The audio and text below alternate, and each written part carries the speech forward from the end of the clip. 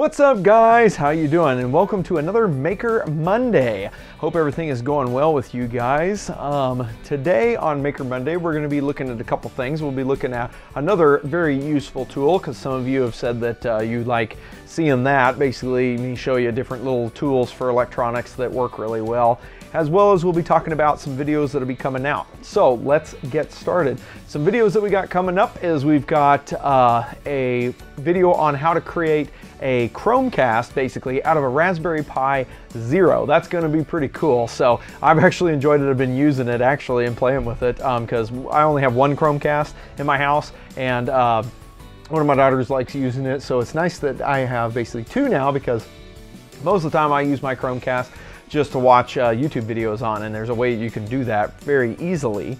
So be on the lookout for that video coming up. I also want to thank you guys very much for your uh, help in uh, when I send out the polls. So I send out those different uh, polls basically on what videos. I think I'll start doing that uh, more often. Let me know down in the comments if that's kind of a cool thing that you guys get to kind of pick which video is going to be next. I usually throw out, and those of you that don't know, um, I kind of throw out little video ideas, maybe three different options, uh, so that you guys can pick maybe which video that you would be most interested in seeing. As I come up with ideas, I kind of log them down and make sure that I keep track of them and keep track of some cool stuff I think you guys would like. And then I usually post that out, or at least I've been doing that here lately, posting that out for you guys to give me some feedback on and let me know if that's something that you guys would like to see. And so far it's been pretty good. You guys have let me know on a couple of items, the uh, one of them being the uh, video for the, the Chromecast uh, of the Rose, Raspberry Pi, as well as the other video that I got coming is going to be, well in fact I'm working on it over here, I'll show it to you, is going to be taking one of these Raspberry Pi uh, screens that you can uh, buy uh, an actual official 7-inch Raspberry Pi compatible uh, deal. It works very slick. You hook it right up and it starts working. Uh, and that's going to be uh, a video that we're going to be doing that will be for the Home Assistant dashboard. So that's coming. However, I had some problems with one of my 3D printers uh, and because I'm going to print a bezel and it's going to be pretty good size for this. So I can't print it on my other printer. I got to print it on my big one, but my big one had a little bit of an extruder malfunction. So I've actually got it apart and I'm working on it right now. So since that happened, I'm waiting for some parts to come in. I figured I'd give you the Chromecast video uh, first. Sorry, there was there was like a piece of something floating by. Anyway, so, but this one is in the works as well. Hopefully I will have that for you next week. I'm still gonna try to stick to my schedule as much as possible. You know, with the holidays coming, it could be a little hectic, so forgive me for that. But Next week is Thanksgiving, but I have a video already ready and I'll try to release it on Wednesdays. I've been shooting for that and that's actually been working pretty good for me, is doing Wednesday videos. So I try to release uh, a video on Wednesday around noon or so because it seems like that's when you guys are usually watching. Let me know in the comments if that's, that's that time sounds like a good time or whatever, but looking at my analytics, it seems like uh, my viewership goes up during uh, basically afternoon and that's, that's central time when I'm looking at it uh, on my in my time. On Central Time, it looks like it's about noon for me. So if that looks like it works for you guys, which seems to, uh, that's when I usually release them. So I'm gonna try to stick to that schedule as well as maybe making the Maker Mondays. Now I can't always guarantee that I'll get a Maker Monday out because sometimes doing two videos a week for me and my normal schedule is a little rough. So any case, we'll be doing that. So there's some there's two video ideas that are that are awesome that you guys have selected, and I think I'm going to do more of that. I'll be sending you guys out some polls and stuff now that YouTube has upgraded to where I can actually send out messages directly to you guys.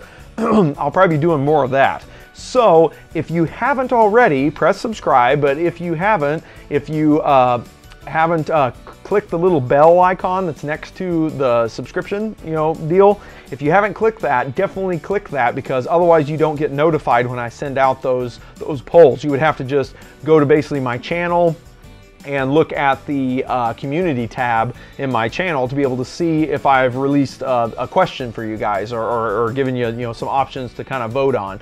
So if you guys want to want to do that, definitely hit ring the little bell icon because that's the only way YouTube will actually notify you that I've sent something out, as well as it notifies you when I send out new videos. So you'll get a notification on Wednesdays uh, and possibly Mondays when I release videos. So definitely make sure you press that button. All right. So that's about it that I got for the next two weeks. That's what we'll be looking forward to is those videos. Over uh, the course of next week, I'll probably release maybe another poll because I got some more video ideas in store and I may release another poll for you guys. I've also gotten our friends at DF Robot. We're talking about uh, some interesting stuff. They told me that uh, whatever I would like to review next, um, go ahead and, and let them know and they'll see if they can't maybe send me a sample or something. So if you guys have ever been out to DF Robot and looked at some stuff and wondered if you like it or not, or if it's if it's gonna work or how it works or whatever, let me know in the comments. Let me know because I, I might be able to ask them for it and maybe be able to get it and then I can run through it and show you and kind of give you a review of that product and see what uh, see if it's if it's good, bad, halfway in between, what it can be used for, things like that. We can make some cool stuff out of it. So definitely go check out DF Robot and let me know, and I'll see if I can't maybe acquire uh, some of those components, and then we can uh, kind of have a review of it. All right.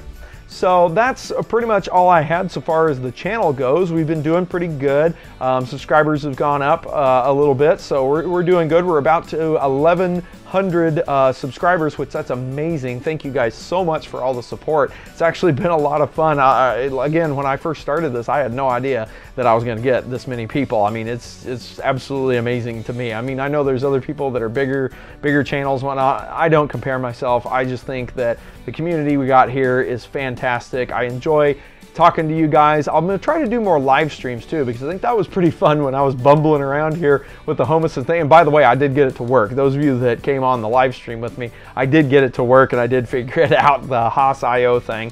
Uh, so I'll try to do more stuff like that. Maybe as I'm doing these bigger projects that take more time, maybe I'll do some live stream of me fumbling around and working on it and you can just kind of join me in the process of working on the projects and stuff like that. And that way it gives a little more interaction. I'm looking to more interact with you guys instead of you guys just kind of watching it. I kind of want to make it more interactive. So anyway, so let's move on to a tool. A great tool that everyone needs is a good multimeter, okay? A good multimeter that I saw, and actually I was I saw this one was recommended by EEV blog, actually by uh, Dave Jones, and I went ahead and bought one because I needed a second one. I've got a real uh, nice fluke that I use that's my kind of like uh, high grade, you know, one for measuring uh, very uh, precisely.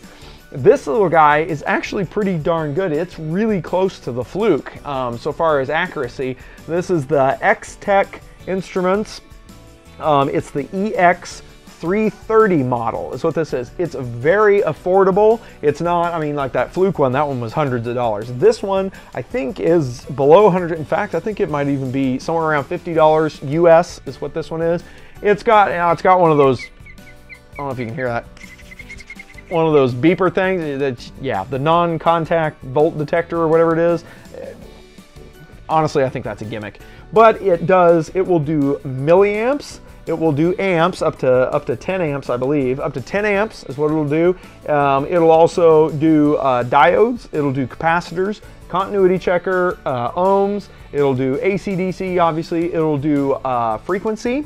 It'll also do uh, temperature. It'll do Fahrenheit and Celsius. And if I remember right, it actually comes with, I don't have it here with me, but it actually comes with a uh, temperature probe. So it's, it's, it's actually a really good deal. Now, what I would suggest also, this is gonna be kind of a two for one deal, is to get some of these. These are very sharp, pointy leads is what these are. And I get these from Pomona. And I'll put links to all this stuff down in the description so you guys can go check it out and see if maybe this would be something that you'd want to add to your uh, electronics lab. But some really sharp tipped, I don't know if you can see that, but some really sharp tip uh, leads are very, very good thing to have because you can probe in those little teeny tiny chips that have those really thin pins. You can really get in there and do this. Whereas when you have the bigger probes, I don't have a set with me right now, but you have those great big huge ends. Sometimes you can cross pins and cause problems, whereas you get these really small, really sharp ones, you can get right in there and probe uh, what you need to probe. But no, this thing is fantastic. It also has a battery saver on it, so if you leave it, if you leave it on, uh, it will uh, beep at you, let you know it's still on, and then it'll give you, I think, a final like long pulse beep or something like that, and then it will shut off on its own. So that's nice because if you're like me and you forget and you leave your meters on, it doesn't just chew the batteries up, it'll actually shut itself off. So that's a nice feature that it has. Um, it has a nice big screen. I don't know if you can see that, but it has nice big numbers, um, very easy to read. It also has, if I remember right, I think it has a light in it somewhere uh, that'll light up the screen. I don't remember how to do it.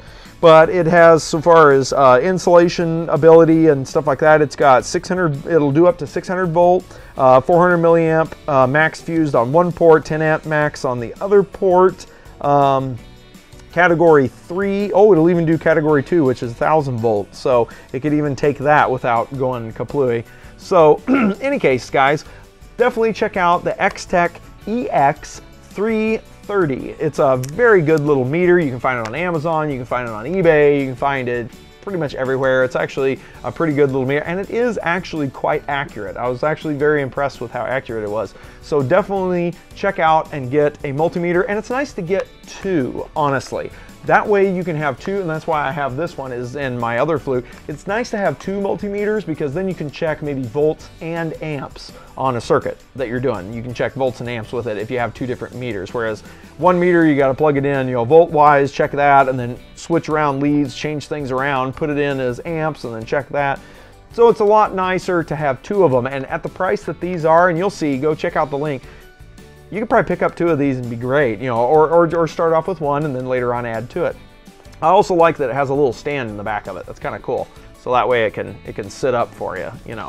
So anyway, that's the tool that I'm saying right now is get yourself a good multimeter. Those super cheap ones, boy, they can they can do weird things. So I would uh, stick with something that's pretty good quality. Definitely check the reviews. Look at the reviews because there's people like me and Dave Jones and those of us that use meters a lot and you know we'll look at some and we know the ones that are crap and we will say so in the uh, comments on on the on the reviews. So definitely check this one out. I have used this one for quite a while now and it is a very good, very affordable uh, meter to get started with. So definitely check that out. All right, guys, thank you so much for watching. And as always, hit that subscribe button and make sure you ring the bell. So that way you get uh, the notifications when I send out polls for videos, when I send out just updates or pictures or anything like that. Definitely ring the bell so that way you don't miss out on the content. Also, you can follow me on Twitter and Facebook. I'm actually able to upload Facebook or upload videos to Facebook now and I'm starting to do that as well as uh, some other things on Facebook. So check out the Facebook uh, link to the channel page that's there, as well as check me out on Instructables, and you can, you can even find me on Quora, which is that question and answer thing. I uh, answer a lot of questions on there too. So if you have any questions, don't forget to leave comments because I love reading your guys' comments. I don't mind at all. Um, it's just, it may take a little bit for me to get to it because there is a lot of you. There's 1,100 of you almost now. So it may take me a little while, but I will answer your questions. I try to make sure I get everybody's question answered or at least give you some sort of a reply. So definitely check that out. All right, guys, thank you so much again, and we will see you next time.